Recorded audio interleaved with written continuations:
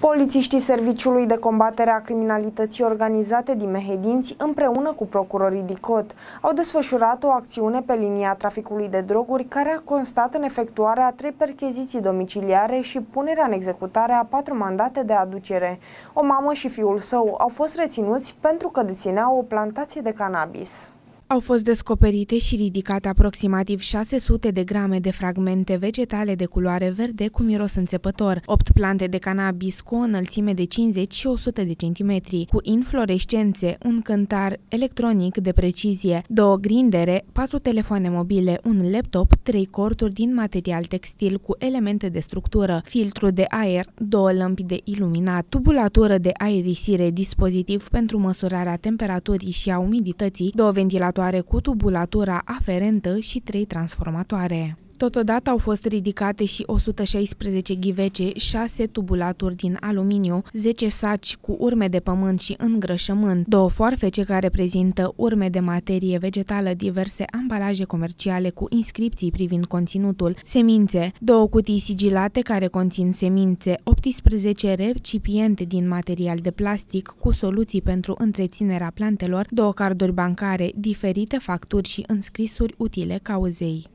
Din cercetări a reieșit că, din toamna anului 2021, un bărbat de 29 de ani ar fi comandat de pe site-uri de profil semințe de cannabis în scopul înființării unei culturi de cannabis și ar fi avut preocupări în ceea ce privește traficul de droguri de risc.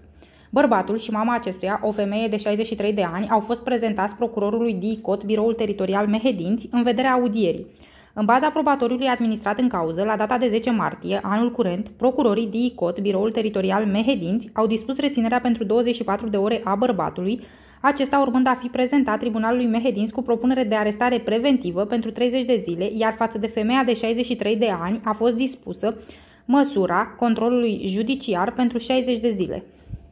În cauză sunt continuate cercetările sub aspectul săvârșirii infracțiunilor de cultivarea, producerea, fabricarea, experimentarea, extragerea, prepararea, transformarea, oferirea, punerea în vânzare, vânzarea, distribuirea, livrarea cu orice titlu, trimiterea, transportul, procurarea, cumpărarea, deținerea ori alte operațiuni privind circulația drogurilor de risc, fără drept și cultivarea, producerea, fabricarea, experimentarea, extragerea, prepararea, transformarea, cumpărarea sau deținerea de droguri de risc pentru consum propriu fără drept. Acțiunea a beneficiat de suportul de specialitate al Direcției Operațiuni Speciale din cadrul Poliției Române.